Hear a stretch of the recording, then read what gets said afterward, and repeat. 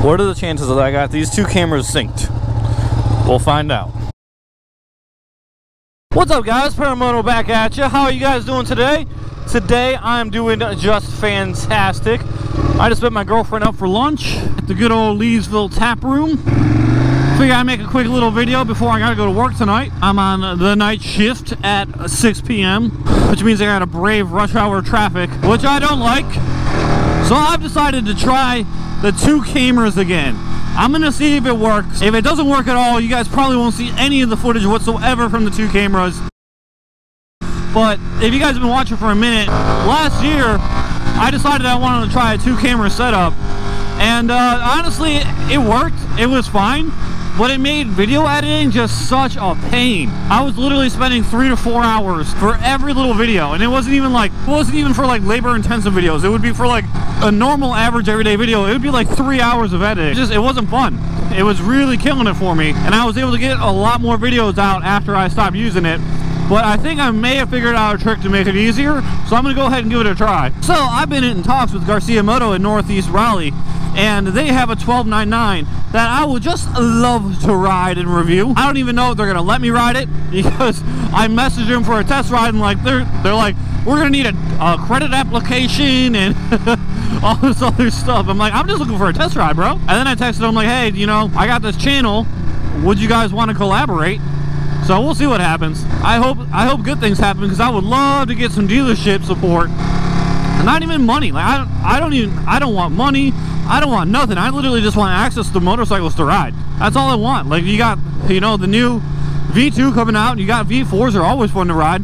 And then I would love access to all the new hotness from Ducati to ride and review from time to time. That'd be sweet to get like a call from like Garcia Moto like, hey, we just got a V2 in. You need to come ride it riding a V2 right now it's really not that much different if you're gonna get a V2 just go ahead and buy a V4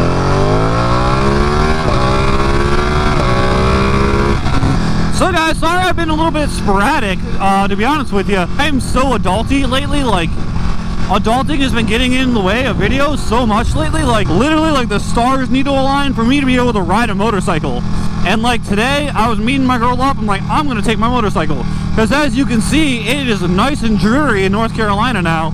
And it's like not every day do I get to ride. So it's like, I have to be like off of work and it has to be like not raining. And then it also has to be like nothing important going on. And then I can, then maybe I can get out on my motorcycle. So it's getting real lame. You know, one thing that I will say is, you know, even even during like the the fall months and whatnot, like if it's at least just like a little warm, like 50 degrees or so, like I'll take my bike to work. And now since it's like in the 30s every night, I can't ride to work anymore, which is putting a big damper on making videos. I appreciate the patience. Like in North Carolina, we really only have three months that are kind of poop, you know, and that's December, January, and February. And basically every other month is fine, you know. You know, and it's like we're really lucky here. We are we are super lucky here that it is nice most of the year. So, you know, I'm still grateful and I'm grateful for you guys and I appreciate the patience. If you guys are ever wondering like, hey, why does Paramoto only put out like one video a week now? It's because of that. It's because of adulting. It's because of weather. I just got smacked with a leaf. That was a heavy leaf. It kind of like stung. Maybe It wasn't a leaf. It was a bird. I don't know. I'm gonna have to watch the footage. Did Paramoto just get attacked by a bird? I'm definitely happy being back out here though, man. This, I love this bike. I do.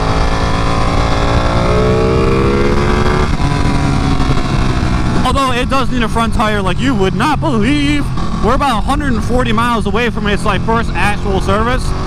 So I'm gonna get a new tire for it and everything and hopefully it'll be all good to go for the next season until I need to replace the rear tire I don't know. There's always something. There's always something with motorcycles. What is this? What is this? I don't know what that is. I've been looking for this guy. I've been so looking for this guy.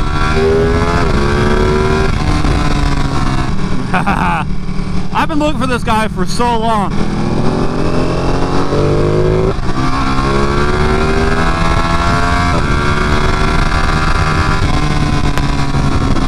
I've been looking for this guy for a minute. Every once in a while, he goes cruising past my house.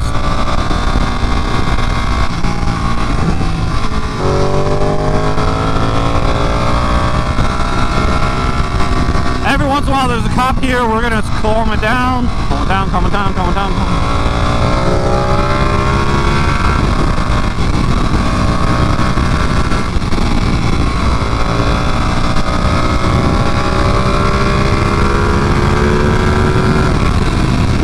It looks good. I think it's a 1299. That's nice, dude. It's something got single-sided. I, I bet you anything. He's an old guy. I've been looking for him for a minute, man. I've been looking for that guy for a minute. So every once in a while, I'll be chilling by the, by the house. He will be blistering past. And I'm just like, oh my god, that's a Ducati. Oh my god, that's so a Ducati. And then he like flies by. I finally saw him. That's awesome. I was, I was cooking there for a second, man.